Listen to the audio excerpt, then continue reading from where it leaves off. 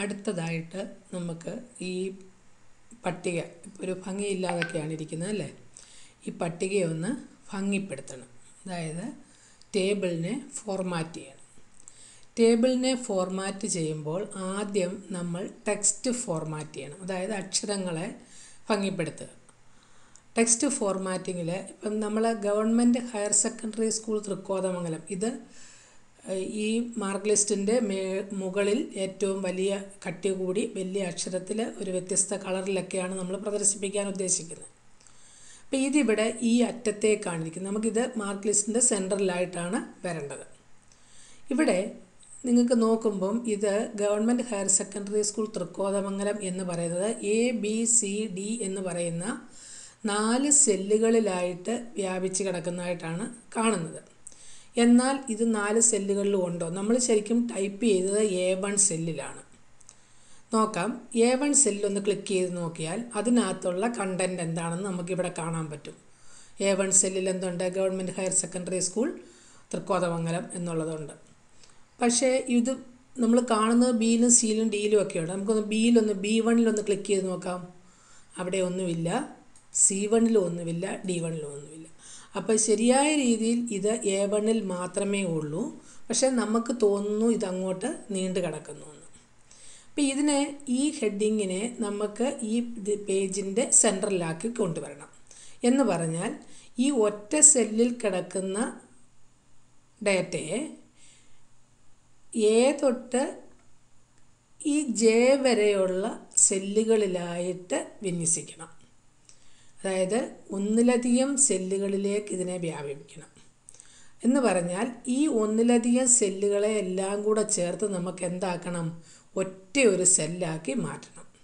ഏത് അല്ല A J വരെയുള്ള സെല്ലുകളെ ഒറ്റ സെല്ലാക്കി മാറ്റണം. ഇങ്ങനെ ഒന്നിലധികം സെല്ലുകളെ കൂട്ടിച്ചേർത്ത് ഒറ്റ സെല്ലാക്കി മാറ്റുന്ന ആ സങ്കേതത്തിന് പറയുന്ന പേരാണ് മേർജ് സെൽ ഒന്നിലധികം സെല്ലുകളെ കൂട്ടിച്ചേർത്ത് ഒറ്റ സെല്ലാക്കുക. നമുക്കിപ്പോൾ ഇവിടെ കൂട്ടിച്ചേർത്ത് ഒറ്റ സെല്ലാക്കേണ്ടത് ഏതൊക്കെയാണ്? എ തൊട്ട് ജെ വരെയുള്ള സെല്ലുകൾ. എ വൺ തൊട്ട് ജെ വൺ വരെയുള്ളത് ഞാൻ ഇത് ഇത്രയും സെല്ലുകളും കൂടെ ചേർന്ന് ഒന്നിച്ച് സെലക്ട് ചെയ്യുന്നു. ഇപ്പം ഇതിങ്ങി അറ്റത്താണ് കിടക്കുന്നത്. ഇതിനെ നമുക്ക് ഇങ്ങോട്ട് സെന്ററിലോട്ട് മാറ്റുകയാണ്. അതിന് ഇതെല്ലാം കൂടെ ചേർത്ത് ഒറ്റ സെന്റർ ഒറ്റ സെല്ലാക്കിയാലാണ് അതിന്റെ സെന്ററിലേക്ക് ഇതിനെ അറേഞ്ച് ചെയ്യാൻ സാധിക്കുകയുള്ളൂ. അപ്പോൾ എ വൺ തൊട്ട് ജെ വൺ വരെയുള്ള സെല്ലുകൾ നമ്മൾ ഒന്നിച്ച് സെലക്ട് ചെയ്യുന്നു. അതിനുശേഷം format merge cells merge and central cells രണ്ട് ഓപ്ഷനുണ്ട് മേർജ് സെൽസ് മേർജ് സെൽസ് ഉണ്ട് മേർജ് ആൻഡ് സെൻട്രൽ സെൽസ് ഉണ്ട്. മേർജ് ആൻഡ് സെൻട്രൽ സെൽസ് എന്ന് പറഞ്ഞാൽ നമ്മൾ ആ സെല്ലിനെ മേർജ് ചെയ്യുകയും അതിൽ ടൈപ്പ് ചെയ്യുന്ന കാര്യങ്ങൾ ആ സെല്ലിന്റെ സെന്ററിൽ വരികയും ചെയ്യും. അതാണ്. അപ്പം ഞാൻ എടുത്തത് സെല്ലുകളെല്ലാം കൂടെ സെലക്ട് ചെയ്തു. Format merge cells merge and central cell ഉണ്ടോ? അപ്പം ഇതെല്ലാം കൂടെ ചേർത്ത് ഒറ്റ സെല്ലായി ആ സെല്ലിന്റെ മധ്യത്തിലേക്ക് എന്ത് വന്നു? നമ്മുടെ ടെക്സ്റ്റ് വന്നു. ഈ ടെക്നിക്കിന് പറയുന്ന പേരാണ് മാർജ് സെൽസ് എന്ന് പറയുന്നത്. മാർജ് സെൽസ് ഇനിയും അടുത്തതായിട്ട് സെല്ലിനെ മാർജ് ചെയ്ത് സെൻട്രലാക്കി ഇനിയും ഈ ടെക്സ്റ്റ് നോക്കിയാൽ ഞാൻ എന്തായിരുന്നു പറഞ്ഞത്? ഇത്തിരി കട്ടി കൂട്ടി വലിപ്പത്തിൽ കാണണം എന്ന് പറഞ്ഞു. അപ്പം ഈ ഇതിന്റെ അക്ഷര വലിപ്പം കൂട്ടണം. അക്ഷര വലിപ്പം മാത്രമല്ല കൂട്ടേണ്ടത്. അക്ഷരത്തിന്റെ ശൈലി ഇതല്ല മറ്റൊരു ശൈലിയിൽ എഴുതണം എന്നുണ്ടെങ്കിൽ ശൈലി മാറ്റാം സൈസ് മാറ്റാം ഇനി ഇതിന്റെ കളറ് നമുക്ക് മാറ്റാം. അതുപോലെ തന്നെ ഇതിനെ ഒന്ന് കട്ടി കൂട്ടി ബോൾഡാക്കാം. അല്ല ഇനി ഇറ്റാലിക്സ് ആക്കണമെങ്കിൽ ഇറ്റാലിക്സ് ആക്കാം. അണ്ടർലൈൻ ചെയ്ത് കൊടുക്കണമെങ്കിൽ അത് ചെയ്യാം. ഇതെല്ലാം കൂടെ ചേർത്താണ് നമ്മൾ ഫോണ്ടിന് ഒരു കളർ കൊടുക്കാം. ഫോൺ അതിന് വേണേൽ അണ്ടർലൈൻ ചെയ്യുമ്പം ആ ലൈനിന് വേറെ കളർ കൊടുക്കാം. ഇതെല്ലാം കൂടെ ചേർത്ത് നമ്മൾ പറയുന്നതാണ് ടെക്സ്റ്റ് ഫോർമാറ്റിംഗ് എന്ന് പറയുന്നത്. അപ്പം ഞാൻ ഏത് ടെക്സ്റ്റിനെയാണോ എനിക്ക് ഫോർമാറ്റ് ചെയ്യേണ്ടത് ആ ടെക്സ്റ്റ് ഞാൻ സെലക്ട് ചെയ്യുന്നു. അതിനുശേഷം format cells format cells format സെൽസിന്റെ വിൻഡോയാണ് ഈ വന്നത്. ഇവിടെ ദ ഫോണ്ട് എന്നൊരു ടാഗ് ടാബുണ്ട് ഫോണ്ട് ടാബിൽ ഞാൻ ക്ലിക്ക് ചെയ്യുന്നു. ഫോണ്ട് ടാബിൽ ക്ലിക്ക് ചെയ്യുമ്പോൾ ഇവിടെ താഴെ വെസ്റ്റേൺ ടെക്സ്റ്റ് ഫോണ്ട് ഇംഗ്ലീഷ് ലാംഗ്വേജിന്റെയാണ് വെസ്റ്റേൺ ടെക്സ്റ്റ് ഫോണ്ട് മലയാളമാണെങ്കിൽ സി ടി എൽ ഫോണ്ടാണ് നമ്മുടെ ടെക്സ്റ്റ് ഇവിടെ ഇംഗ്ലീഷാണ് അപ്പം വെസ്റ്റ് വെസ്റ്റേൺ ടെക്സ്റ്റ് ഫോണ്ടിലാണ് ചേഞ്ചസ് വരുന്നുണ്ട് ഇവിടെ കിടക്കുന്ന ഫോണ്ട് ഫാമിലി എന്ന് പറയുന്നത് ലിബറേഷൻ സാൻസ് ആണ്. ഈ അക്ഷരങ്ങൾ ഇങ്ങനെ കാണുന്ന ഈ അക്ഷരങ്ങൾ ലിബറേഷൻ സാൻസ് എന്ന് പറയുന്ന ഫാമിലിയിൽപ്പെട്ടതാണ് ഇതിൽ ഒരുപാട് നമുക്കിവിടെ ക്ലിക്ക് ചെയ്താൽ കുറേ അധികം കാര്യങ്ങൾ നമുക്ക് കാണാൻ പറ്റും. ഞാനൊന്ന് മാറ്റി കൊടുത്തു നോക്കുവാണ്. വേറൊരു ഫോണ്ട് ഫാമിലിയിലേക്ക് മാറ്റി. അപ്പോൾ നമ്മുടെ അക്ഷരം ദാ ഈ രീതിയിലായിരിക്കും പ്രത്യക്ഷപ്പെടുന്നത്.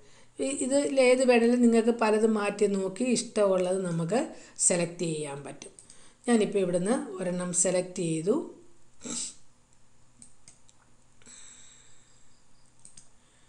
ഒരു ഫോണ്ട് സെലക്ട് ചെയ്തു. അതാണ് ഈ കാണുന്നത്. ഫോണ്ട് സെലക്ട് ചെയ്തു ഫോണ്ട് ഫാമിലി ഇനിയും ഇതിന്റെ സ്റ്റൈൽ ഇതിപ്പോൾ റോമൻ സ്റ്റൈലാണ് കിടക്കുന്നത്.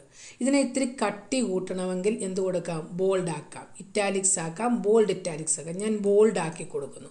അപ്പോൾ ഇത്തിരി അക്ഷരങ്ങൾക്ക് ഇത്തിരി കട്ടി കൂടി. അക്ഷരത്തിന്റെ സൈസ് ഫോണ്ടിന്റെ സൈസ് ഇപ്പോഴത്തെ സൈസ് പത്താണ്. ഈ സൈസ് മാറ്റി ഞാനൊരു ഇരുപതാക്കി നോക്കുന്നു. ഉണ്ടല്ലോ? ഫോണ്ട് സൈസ് ഇരുപതാക്കി. ഇത്രയും കൊടുത്തിട്ട് ഓക്കെ കൊടുക്കുക അപ്പോൾ നമ്മളിവിടെ മാറ്റം വരുത്തിയ എന്തൊക്കെയാണ്? ആ ടെക്സ്റ്റിനെ സെലക്ട് ചെയ്യുന്നു. ഫോർമാറ്റ് സെൽസ് കൊടുക്കുമ്പോൾ ഈ വിൻഡോ ഫോർമാറ്റ് സെൽസിന്റെ വിൻഡോ വിൻഡോ കിട്ടുന്നു. അവിടുത്തെ ഫോണ്ട് ടാബ് സെലക്ട് ചെയ്യുന്നു. ഇവിടെ രണ്ട് ഇംഗ്ലീഷും മലയാളവും ഫോണ്ടിനുള്ള ടെക്സ്റ്റ് ഫോണ്ട് ഫോർമാറ്റ് ചെയ്യാനുള്ള കാര്യങ്ങളുണ്ട്. വെസ്റ്റേൺ ടെക്സ്റ്റ് ഫോണ്ട് ഇംഗ്ലീഷിനും സി ടി എൽ ഫോണ്ട് മലയാളത്തിനുമാണ്. ഫോണ്ട് ഫാമിലി ഇഷ്ടമുള്ളത് നമുക്ക് തിരഞ്ഞെടുക്കാം. സ്റ്റൈൽ നമുക്ക് മാറ്റാം. ബോൾഡോ ഇറ്റാലിക് സെൻട്രലൈൻ ഏത് വേണമെങ്കിലും എടുക്കാം. ദെൻ സൈസ് ഫോണ്ടിന്റെ സൈസ് എടുത്ത് ഓക്കെ കൊടുക്കുന്നു. എന്ത് മാറ്റമാണ് വന്നതെന്ന് നോക്കുക അപ്പം അക്ഷരങ്ങൾ വേറൊരു ശൈലിയിലേക്ക് വന്നു. ഇനിയും ഇപ്പം ഇത് ബ്ലാക്ക് ലെറ്റേഴ്സിലാണ് കാണുന്നത് അല്ലേ? എനിക്കിതിന്റെ കളർ ഒന്ന് മാറ്റണം എങ്കിൽ ഞാനിതിനെ വീണ്ടും സെലക്ട് ചെയ്തിട്ട് ഇതേ ഫോർമാറ്റിൽ പോകാം.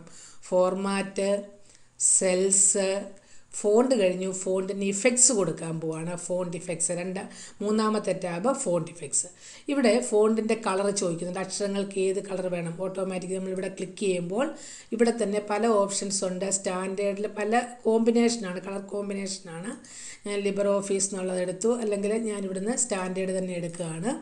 ഇവിടുന്ന് റെഡ് കളർ ഞാൻ സെലക്ട് ചെയ്തു. റെഡ് കളർ സെലക്ട് ചെയ്തു. അക്ഷരങ്ങൾക്ക് ഇനിയും ഈ ഹെഡിങ്ങിനെ ഓവർലൈനിങ് ചെയ്യണോ.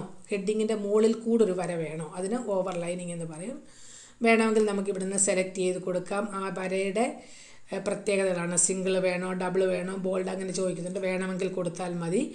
അങ്ങനെ ഒരു ലൈൻ നമ്മൾ എടുത്താൽ ആ ലൈനിന്റെ കളർ നമ്മൾ ഇവിടുന്ന് ലൈൻ എടുക്കുകയാണെങ്കിൽ മാത്രമേ ഇത് ആക്റ്റീവ് ആകും. കളർ സെലക്ട് ചെയ്യാം.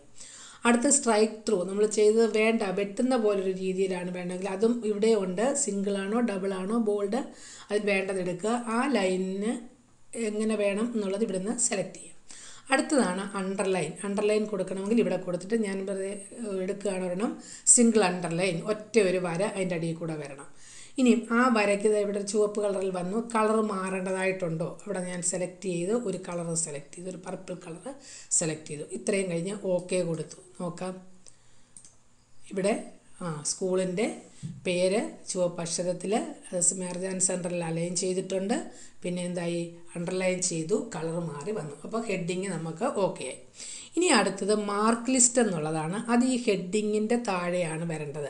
അതും നോക്കി ഈ ബി വൺ എന്ന് പറയുന്ന കോളത്തിലാണ് കിടക്കുന്നത്. ഇവിടെ എ വൺ എന്ന് പറയുന്ന ഒരു കോളം വെറുതെ കിടപ്പുണ്ട്. ബി വണ്ണിലാണ് നമ്മുടെ ടെക്സ്റ്റ് കിടക്കുന്നത്. പക്ഷേ നമുക്ക് വേണ്ടത് ഇതിന്റെ സെന്ററിലാണ് വേണ്ടത്. അതുകൊണ്ട് ഈ സെല്ലുകൾ അത്രയും കൂടെ വീണ്ടും നമ്മളിപ്പോൾ പറഞ്ഞ അതേ കാര്യം തന്നെയാണ്. സെലക്ട് ചെയ്തിട്ട് എന്ത് കൊടുക്കുന്നു? Merge format merge merge and cell central cell. ഇത് കമാൻഡ് വഴി പോകാതെ ഇവിടെ ഷോർട്ട് കട്ട് ഉണ്ട്. എല്ലാത്തിനും ഷോർട്ട് കട്ട് ഉണ്ട് ഫോണ്ട് സൈ ഫാമിലി സെലക്ട് ചെയ്യണമെങ്കിൽ ഇവിടെ സെലക്ട് ചെയ്യാം. ഫോണ്ട് സൈസ് ഇവിടെ സെലക്ട് ചെയ്യാം. ബോൾഡ് ഇറ്റാലിക്സ് അണ്ടർലൈൻ ഇതേ ക്ലിക്ക് ചെയ്താൽ മതി. ഫോണ്ടിന്റെ കളർ കൊടുക്കാം. അതേപോലെയാണ് ഇവിടെ മേർജ് ആൻഡ് സെൻട്രൽ സെൽസ് ഞാൻ ഇതിലൊന്ന് ക്ലിക്ക് ചെയ്യാം. അപ്പോൾ എന്തായി? മേർജ് ആൻഡ് സെൻട്രൽ സെൽസിലേക്ക് ഇത് വന്നു. ഇതിന്റെ സെൻട്രലായിട്ട് വന്നു. മാർക്ക് ലിസ്റ്റ് ഇനി നമ്മൾ ഇതിന്റെ അക്ഷരങ്ങളൊക്കെ ഒന്ന് മാറ്റി നമ്മൾ ഷോർട്ട് കട്ടിലൊന്ന് ചെയ്ത് നോക്കാം. അക്ഷരം മാറ്റി ഫോണ്ടിന്റെ സൈസ് മാറ്റുന്നു. സൈസ് മാറ്റുന്നു. ഇപ്പോൾ ഇറ്റാലിക്സിലേക്ക് ഞാൻ മാറ്റി. അതുപോലെ തന്നെ ഫോണ്ടിന്റെ കളറും ഒന്ന് മാറ്റുകയാണ്. കളറ് ഒരു ഗ്രീൻ കളറ് ഞാൻ കൊടുത്തു. മാർക്ക് ലിസ്റ്റ് എന്ന് കൊടുത്ത് സെൻട്രലായിട്ട് അറേഞ്ച് ചെയ്തു. അപ്പോൾ രണ്ട് കാര്യങ്ങൾ നമ്മൾ ചെയ്തു. ഇത് രണ്ടും ചെയ്തത് മേർജ് സെൽസ് കൊടുത്തിട്ട്. ഇനി അടുത്തത് സ്റ്റാൻഡേർഡ് അതായത് കുട്ടിയുടെ സ്റ്റാൻഡേർഡ് ഇവിടെ എഴുതി വരണം ഡിവിഷൻ ഇപ്പുറത്ത് എഴുതി വരണം. അപ്പം ഞാൻ ഇതിന്റെ ഒരു പകുതി ഭാഗം അതായത് ഇത്രയും പോർഷനും കൂടെ സെലക്ട് ചെയ്തിട്ട് വീണ്ടും മാർജ് ചെയ്തിരുന്നു. പക്ഷേ മാർജ് ആൻഡ് സെൻട്രലാണ് അതുകൊണ്ട് എന്ത് ചെയ്തു? ഇത് ഈ സെന്ററിലേക്ക് വന്നു. എനിക്ക് വേണ്ടത് എവിടെയാണ്? ലെഫ്റ്റാണ് നമുക്കത് അറേഞ്ച് ചെയ്യാം. അടുത്തത് ഈ ഡിവിഷനെ ഞാൻ അതേപോലെ തന്നെ സെലക്ട് ചെയ്യുന്നു. അവിടെയും മാർജ് ആൻഡ് സെൻട്രൽ കൊടുത്ത് ഇവിടെ വന്നു. എനിക്ക് വേണ്ടത് റൈറ്റ് സൈഡിലാണെങ്കിൽ നമുക്കത് മാറ്റി കൊടുക്കണമെങ്കിൽ കൊടുക്കാം. ലെഫ്റ്റിൽ വേണോ റൈറ്റിൽ വേണോ നമുക്ക് അലൈൻമെന്റിനെയും നമുക്ക് മാറ്റി കൊടുക്കാം. അപ്പോൾ ഇവിടെ സ്റ്റാൻഡേർഡ് വന്നിട്ടുണ്ട്. ഇതിനും നമുക്കൊന്ന് അക്ഷരമൊക്കെ വേണം ഇവിടെ നമ്മൾ ഇച്ചിരി സൈസ് ഒന്ന് കൂട്ടി കൊടുത്തു ക്ലാസ്സും ഡിവിഷനും ഞാനിങ്ങനെ സെലക്ട് ചെയ്തിട്ട് ഫോണ്ടൊക്കെ ഒന്ന് മാറ്റി ഇത്തിരി കൂടെ സൈസൊക്കെ കൊടുത്ത് അറേഞ്ച് ചെയ്ത് ഡിവിഷന് ഒക്കെ കൊടുത്തു.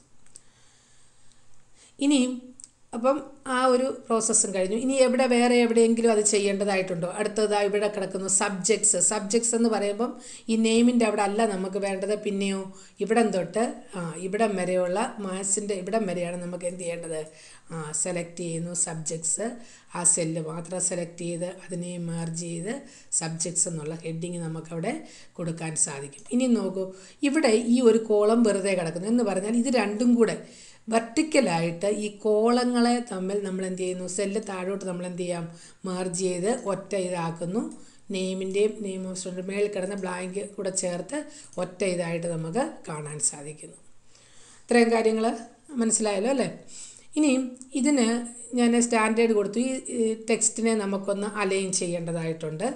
ടെക്സ്റ്റ് അലൈൻമെന്റ് കൊടുക്കാം. നമ്മൾ ഇത് ഇച്ചിരി ഒന്ന് ബോൾഡ് ആക്കി കൊടുത്തേക്കാം. അക്ഷരത്തിന് ഒരു ഇത്തിരി കൂടെ സൈസ് കൂടെ കൊടുത്തേക്കാം. സബ്ജക്ട്സ് ഏതൊക്കെയാണെന്നുള്ളത്. അതേപോലെ ഈ അക്ഷരങ്ങൾക്കൊക്കെ നമുക്ക് എന്ത് ചെയ്യാൻ പറ്റും? ആ സൈസൊക്കെ ഞാനൊന്ന് മാറ്റുവാണ്. മൊത്തം ഇതിന്റെ എല്ലാം കൂടെ സൈസ് മാറ്റണമെങ്കിൽ എന്ത് ചെയ്യണം? എല്ലാം കൂടെ സെലക്ട് ചെയ്തിട്ട് ഒന്നിച്ച് നമ്മൾ കൊടുത്താലും മതി. അപ്പോൾ ഒരേ അക്ഷ സൈസിൽ വരുന്നുണ്ട്. ബോൾഡ് വേണമെങ്കിൽ ബോൾഡാക്കി അക്ഷരങ്ങൾ കട്ടി കൂടി വരുന്നു. ഇനിയും കുട്ടികളുടെ പേരൊന്ന് മാറ്റണമെങ്കിലോ അതും നമുക്ക് ഇതുപോലെ സെലക്ട് ചെയ്തിട്ട് ഒരു അക്ഷരങ്ങൾ ഫോണ്ട് ഫാമിലി വേണേ മാറ്റാം. ഫോണ്ട് ഫാമിലി നമുക്ക് എല്ലാ ഒന്നും ചിലപ്പം വായിക്കാൻ പറ്റുന്ന ആയിരിക്കത്തില്ല അതുകൊണ്ട് ഫോണ്ട് ഫാമിലിയൊക്കെ എടുക്കുമ്പോൾ നമ്മൾ വളരെ ശ്രദ്ധിച്ച് വേണം ചെയ്യാൻ. ഇല്ലെങ്കിൽ അത് ചിലപ്പോൾ നമുക്ക് കിട്ടാൻ പ്രയാസം വരും. അപ്പോൾ ഇവിടെ ഫോണ്ട് ഫാമിലി മാറ്റി അതിനെ ഞാൻ ഇതുപോലെ ഇത്തിരി വലിപ്പം ഒന്ന് കൂട്ടി കുട്ടികളുടെ പേര് നമുക്ക് വായിക്കാൻ പറ്റുന്ന രീതിയിലേക്ക് മാറ്റി. അങ്ങനെ മാറ്റിയപ്പം ഇതിന്റെ സൈസ് നമുക്ക് കോളത്തിന്റെ റോയുടെ ഹൈറ്റ് പോരാന്നുണ്ടെങ്കിൽ എന്ത് ചെയ്യണമെന്നാണ് പറഞ്ഞത്? ഏതൊക്കെ റോയുടെ മാറ്റണോ റോ എല്ലാം കൂടെ സെലക്ട് ചെയ്ത് റൈറ്റ് ക്ലിക്ക് ചെയ്തിട്ട് എന്ത് കൊടുക്കാം? റോ ഹൈറ്റ് എന്ന് കൊടുക്കുക. ഇപ്പോൾ സിക്സ് വൺ ആണ്. എനിക്കൊരു നയൻ വൺ ആക്കി നമ്മൾ മാറ്റി കൊടുക്കുന്നു. അപ്പോൾ എന്ത് ചെയ്തു? വലിപ്പമൊക്കെ മാറി വന്നു. സീരിയൽ നമ്പറിനെയും ഒന്നിത്തിരി ബോൾഡാക്കി കൊടുത്തു. അപ്പോൾ ഫോർമാറ്റിങ്ങിലാണ് ഇതെല്ലാം നമ്മൾ ചെയ്യുന്നത്. അതിന്റെ സൈസ് വേണം നമുക്ക് ഇത്തിരി ഒന്ന് മാറ്റി കൊടുക്കാം അക്ഷരങ്ങളും മാറ്റി കൊടുത്തു. ഹോൾഡാക്കി കൊടുത്തു ഇനിയും അടുത്തതെന്ന് പറഞ്ഞാൽ ഇതിനൊക്കെ ഹെഡിങ്ങുകൾക്കൊക്കെ നമുക്ക് കളർ മാറ്റണമെങ്കിലൊക്കെ ഫോണ്ട് കളർ നമുക്ക് മാറ്റാൻ പറ്റും. ഇനി ഇവിടെ നോക്കൂ ഇവിടെ ഈ കോളം വിട്ട് പോരാ. അപ്പോൾ എന്ത് ചെയ്യാം? കോളത്തിന്റെ പേര് മുഴുവൻ വരാൻ വേണ്ടി ഇച്ചിരി എന്ത് ചെയ്യാം? നമുക്ക് വലിച്ച് നീട്ടാം. വലിച്ച് നീട്ടാൻ പറ്റും. മാറ്റി. ഇനിയും അടുത്തതായിട്ട് ഇവിടെ ഈ മലയാളം എന്ന് പറയുന്നത് ഇച്ചിരി ഇങ്ങോട്ട് വലിച്ചു നീട്ടാം. അതുപോലെ സോഷ്യൽ സയൻസ് വേണേൽ നമുക്ക് ഇതിനെ രണ്ട് മാർക്കിന് മാർക്ക് ടു ഡിജിറ്റ് ആണ്. അപ്പോൾ ഒരുപാട് വലിപ്പം കൂട്ടിയിട്ട് കാര്യമില്ല. അതുകൊണ്ട് ഇനിയും നമ്മൾ ചെയ്യാൻ പോകുന്ന മറ്റൊരു അലൈൻമെന്റ് ആണ്. അലൈൻമെന്റ് കൊടുക്കുമ്പം ഒരു ലൈനിലുള്ളതിനെ വേണേൽ നമുക്ക് രണ്ട് ലൈനിലായിട്ട് ഉൾക്കൊള്ളിക്കാം. അപ്പോൾ സോഷ്യൽ സയൻസ് എന്നുള്ളത് ഇതിനകത്ത് ചെറുതായിട്ട് നമുക്ക് രണ്ട് ലൈനിലായിട്ട് വേണേലും ഉൾക്കൊള്ളിക്കാം. കോളം വിട്ട് നമ്മളിങ്ങനെ ഒത്തിരി വലിച്ച് നീട്ടുന്നതിലും നല്ലത്. ഇപ്പോൾ ഇവിടെ സോഷ്യൽ സയൻസ് എന്ന് വരുമ്പം ഈ ഒരു സെല്ലിന്റെ മാത്രം വലിപ്പം ഇങ്ങനെ കൂടി കിടക്കുന്നു മാർക്കാണ്. മാർക്ക് എന്ന് പറയുന്ന രണ്ട് ഡിജിറ്റേ ഉള്ളൂ. അപ്പം നമുക്ക് കൂടുതൽ അവിടെ അതൊരു ടേബിൾ കാണുമ്പോൾ ഒരു ഭംഗി ഉണ്ടാകത്തില്ല അപ്പം ഞാൻ ഇതിനെ മറ്റൊരു ടെക്നിക്കുണ്ട് നമുക്ക്. Wrap text. ടെക്സ്റ്റിനെ ചുരുക്കി എഴുതുക. ഉള്ള സെല്ലിൽ ചുരുക്കി എഴുതുക. അതിനു വേണ്ടി ഇത് ഞാൻ സെലക്ട് ചെയ്യുന്നു. അതിനുശേഷം ഫോർമാറ്റ് സെൽസ് അലൈൻമെന്റ് റാപ്പ് ടെക്സ്റ്റിൽ നമ്മളൊരു ടിക്കറ്റ് കൊടുക്കുന്നു. അതിനുശേഷം ഓക്കെ അപ്പോൾ അതെന്തതായി ഇതിനകത്തേക്ക് രണ്ട് ലൈനായിട്ട് വന്നു. വേണേൽ നമ്മൾ ഈ മാത്തമാറ്റിക്സ് എന്നുള്ളതിനെ ഒന്ന് മാറ്റാൻ നോക്കാം. ഫോർമാറ്റ് ഒന്നുകൂടെ പറഞ്ഞ് format cells alignment wrap text നമ്മൾ കൊടുക്കുകയാണ്. അപ്പം മാത്തമാറ്റിക്സ് എന്നുള്ളത് ഇവിടെ രണ്ട് ലൈനായിട്ട് നമുക്കത് അഡ്ജസ്റ്റ് ചെയ്ത് കാണാൻ പറ്റും. അതേപോലെ ഇവിടെ ഒരെണ്ണം കൂടെ കിടപ്പുണ്ട് പെർസെന്റേജ് ഓഫ് മാർക്ക് അതിനെ ഞാൻ ഈ ഒറ്റ സെല്ലിലാക്കാൻ വേണ്ടി എടുക്കുകയാണ്. ഇവിടെ ഞാൻ കമാൻഡ് വഴി പോകുന്നില്ല ഷോർട്ട് കട്ട് കാണിക്കാം. ഇവിടുത്തെ ഈ ടൂൾ ബാറിൽ ഇവിടെ കിടപ്പുണ്ട്. സെലക്ട് ചെയ്തിട്ട് ഇവിടെ നിന്ന് റാപ്പ് ടെക്സ്റ്റ് കൊടുത്തു കഴിഞ്ഞാൽ അവിടെ അത് അതിനകത്തേക്ക് കയറി വരുന്നത് കാണാം ഇവിടെ ഈ സെല്ലിന്റെ വലിപ്പം ഇത്തിരി കൂടെ കൂടേണ്ടതായിട്ടുണ്ടായിരുന്നു. അത് അത് കറക്റ്റായിട്ട് ഇപ്പം വന്നിട്ട് അപ്പോൾ നമ്മൾ ടെക്സ്റ്റിനെ എല്ലാം റാപ്പ് ചെയ്ത് ഒരുപോലെ ആക്കിയിട്ടുണ്ട്. ഒന്നിച്ച് നമുക്കെല്ലാം കാണാൻ പറ്റുന്നുണ്ട്. അടുത്തത് ഇപ്പം ഇവിടെ നോക്കൂ നമ്പേഴ്സ് എപ്പോഴും നമ്മൾ നമ്പേഴ്സ് സെൻട്രൽ അലൈൻമെന്റ് ആണ്. സെൻട്രലായിട്ടാണ് നമുക്ക് വരേണ്ടത്. ടെക്സ്റ്റ് എന്ന് പറയുന്ന ഈ ഹെഡിങ്ങുകളെ നമുക്ക് എന്താക്കാം? സെൻട്രൽ അലൈൻ ചെയ്യാം. ഒന്നിച്ച് സെലക്ട് ചെയ്യുന്നു. ഇവിടെ അലൈൻമെന്റിന്റെ ഓപ്ഷനുണ്ട് അലൈൻ ലെഫ്റ്റ് ഇടത്തെ സൈഡിലേക്ക് മാറ്റാം. ഇത് സെന്റർ ഇത് റൈറ്റ് ഞാനിവിടെ സെന്റർ എടുക്കുന്നു. അപ്പോൾ എന്ത് ചെയ്യും? ഹെഡിങ്ങുകളെല്ലാം സെന്ററിലായി വന്നു. ഓരോ കോളത്തിന്റെയും സെൻട്രലായി പക്ഷേ ഹെഡിങ് സെൻട്രലായപ്പോൾ മാർക്കും അതുപോലെ സെൻട്രലാകണം നമ്മൾ നമ്പേഴ്സ് എപ്പോഴും സെൻട്രൽ അലൈൻമെന്റ് ആണ് കൊടുക്കുന്നത്. വീണ്ടും എടുക്കുന്നു സെൻട്രൽ ക്ലിക്ക് ചെയ്യുന്നു. അതെല്ലാം എന്തായി? സെൻട്രൽ അലൈൻമെന്റിലേക്ക് വന്നു. മാർക്കുകളും സെൻട്രൽ അലൈൻമെന്റ് വന്നു. ഇതുപോലെ ടെക്സ്റ്റ് നമ്മൾ കൊടുക്കുന്നത് ടെക്സ്റ്റ് എപ്പോഴും ലെഫ്റ്റ് അലൈൻമെന്റ് ആണ്. നമ്പേഴ്സ് സെൻട്രൽ അലൈൻമെന്റ് ആണ്. അപ്പോൾ സീരിയൽ നമ്പർ ഒന്ന് മാറ്റി കൊടുക്കാം. സെൻട്രൽ അലൈൻമെന്റിലേക്ക് പോകാം. അപ്പോൾ ഇത്രയും കാര്യങ്ങൾ നമ്മൾ ചെയ്തു. അലൈൻമെന്റിലാണ് നമ്മൾ ഇത്രയും നേരം ചെയ്ത കാര്യങ്ങൾ. ടെസ്റ്റ് അലൈൻമെന്റാണ് റാപ്പ് ടെക്സ്റ്റ് ചെയ്തു. ടെസ്റ്റിനെ സെൻട്രലായിട്ട് അറേഞ്ച് ചെയ്തു. ഇനിയും അടുത്തതായിട്ട് നമുക്ക് അലൈൻമെന്റും റാപ്പ് ടെക്സ്റ്റും കഴിഞ്ഞ് കഴിഞ്ഞാൽ ഇതിപ്പോൾ ഇനി പട്ടികയാണെന്ന് നമുക്ക് തോന്നണമെങ്കിൽ ഇതിനെ എന്താക്കണം? ഒരു ബോർഡർ കൊടുക്കണം.